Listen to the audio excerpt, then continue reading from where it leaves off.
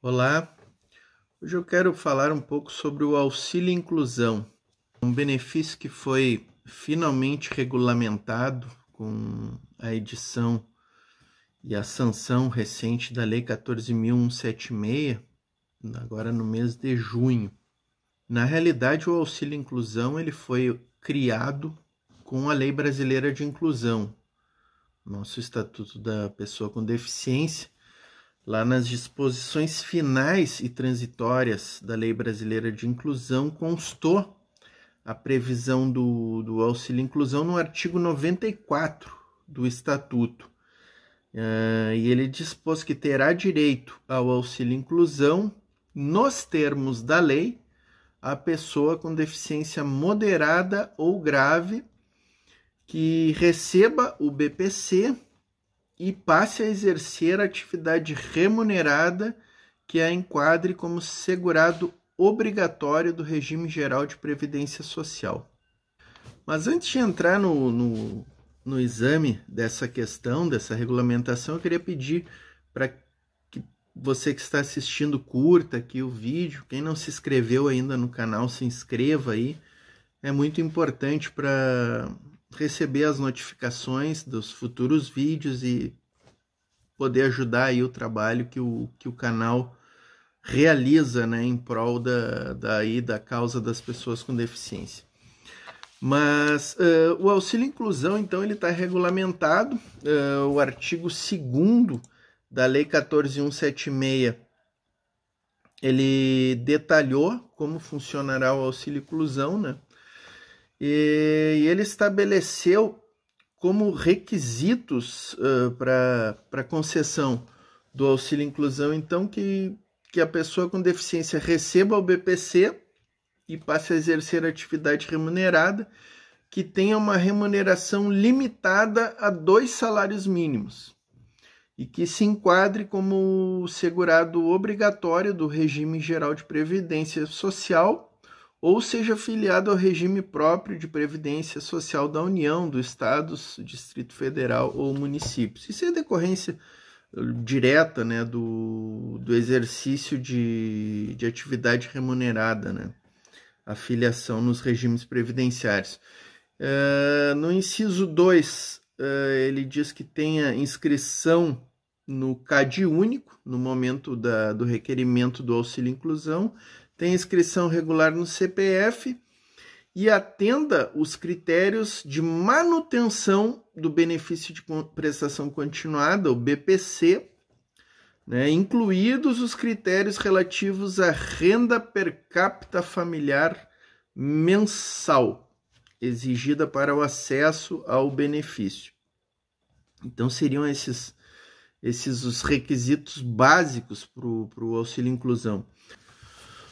O valor do auxílio inclusão ele é de 50% do valor do benefício de prestação continuada em vigor, né? Atualmente o BPC é um salário mínimo, então o auxílio inclusão seria um meio salário mínimo, né?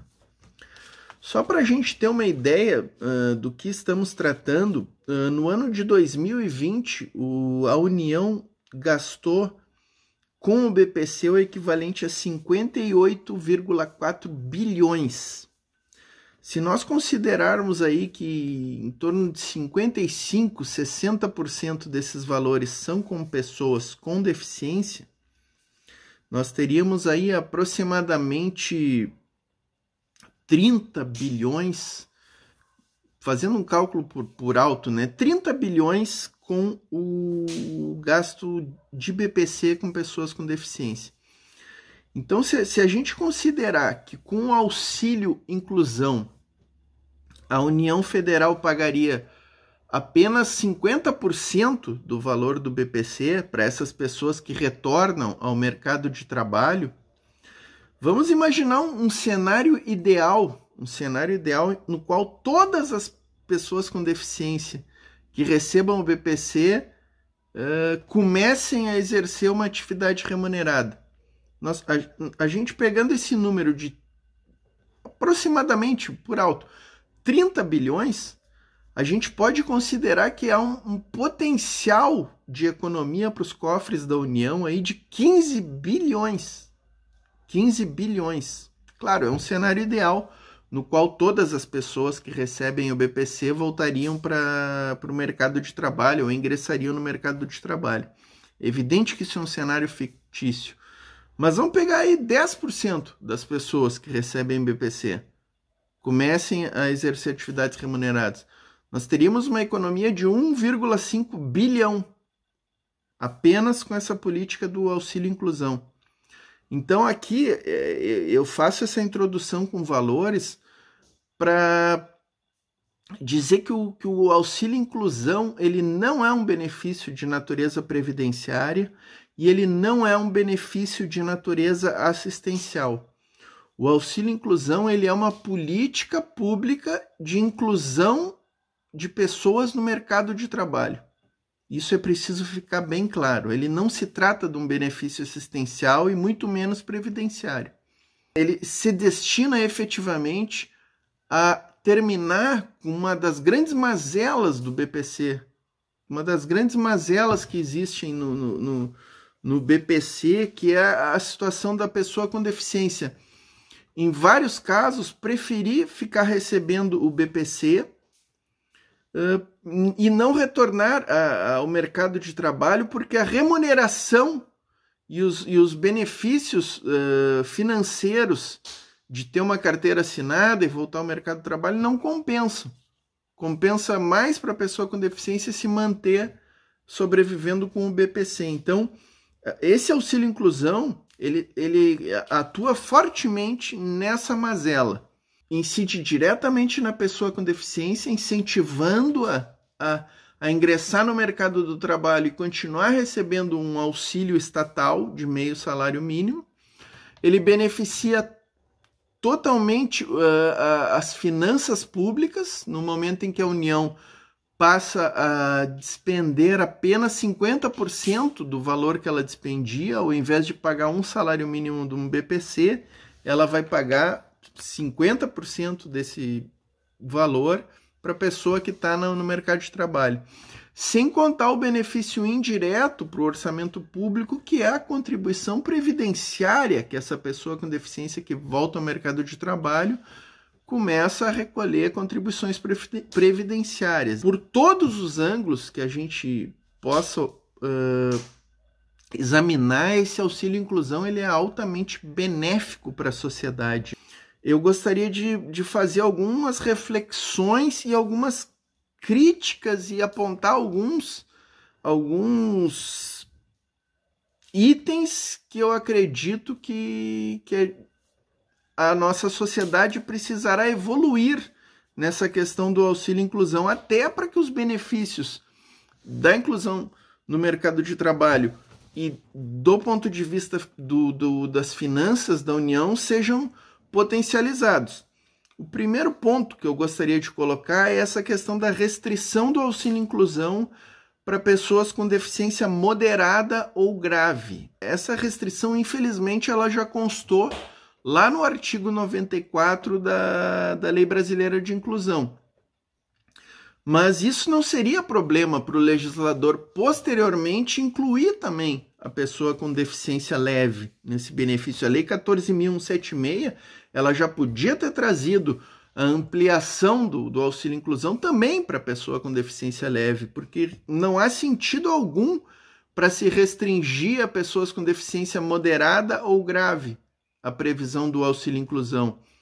Pelo contrário, é, para o governo federal também é interessante que, inclusive, a pessoa com deficiência leve é, é tenha direito ao auxílio inclusão e possa sair do, do, do, do benefício assistencial, que é o BPC, para a economia das finanças, será importante também que a gente inclua a pessoa com deficiência leve nesse rol de, de, de beneficiados com essa política pública. O segundo registro, que me parece contraditório com, com, com, com o sistema, é limitar a remuneração em dois salários mínimos. Essa limitação ela não, não constava da Lei Brasileira de Inclusão e ela surge agora com a Lei 14176, uma norma restritiva, ela está restringindo um benefício que é, como eu acabei de dizer, amplamente favorável para a União, substituir o BPC pelo auxílio inclusão, realmente não, não há sentido para essa limitação de, de que a remuneração do trabalhador tenha que ser até dois salários mínimos, né? E outro ponto que eu, que eu examinando a Lei 14.176 me pareceu bem contraditório e até perigoso no sentido de, de fazer com que, com que essa lei se torne quase que uma letra morta, é essa previsão de que a pessoa, para receber o auxílio inclusão, tenha que continuar atendendo os critérios de concessão do BPC. Aqui me parece que há o grande ponto a ser criticado quando ela inclui esse, esse requisito de que uh, o beneficiário do auxílio inclusão atenda aos critérios de manutenção do benefício de prestação continuada, ela destaca essa questão de incluídos os critérios relativos à renda familiar mensal per capita exigida para o acesso ao benefício. Ou seja, a pessoa, para perceber o auxílio inclusão, além de, de limitar em dois salários mínimos, ela vai ter que continuar tendo o conjunto familiar, vai ter que continuar tendo essa renda per capita familiar que continua num patamar muito baixo, de um quarto do salário mínimo. Uma questão que, que vai quase que, que inviabilizar para as pessoas com deficiência uh, usufruírem dessa política pública. O que eu estou vendo com muita negatividade, porque a gente precisa saudar o auxílio inclusão, saudar o retorno das pessoas com deficiência ao mercado de trabalho e saudar essa possibilidade uh, de economia das finanças públicas com a concessão desse benefício.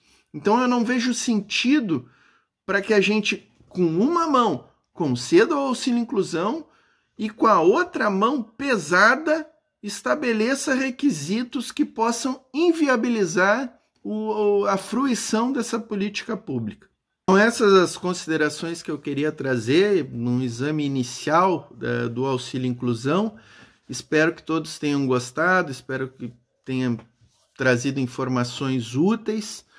Vou pedir para quem chegou até aqui, não curtiu ainda o vídeo, que possa curtir, possa se inscrever no canal, ativar o sininho para notificações de publicações futuras, possa aí compartilhar em suas redes aí para que a gente tenha essa informação mais amplificada, né?